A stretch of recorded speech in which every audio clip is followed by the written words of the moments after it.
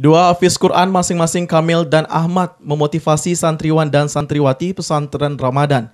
Dalam kesempatan tersebut tidak hanya Kamil dan Ahmad yang bercerita tentang upaya yang dilakukan untuk bisa menghafal Al-Quran. Sang mentor juga menjelaskan panjang lebar bagaimana upayanya agar Kamil dan Ahmad dapat secara rutin dan kontinu untuk menghafal Al-Quran hingga akhirnya dapat menghafal dalam tempo enam setengah bulan. Kami hormati,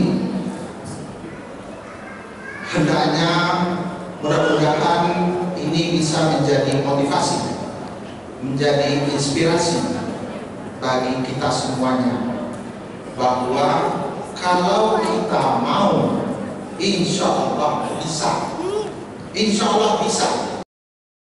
Dalam kesempatan tersebut, jamaah yang hadir ataupun santri pesantren Ramadan dipersilakan untuk bertanya.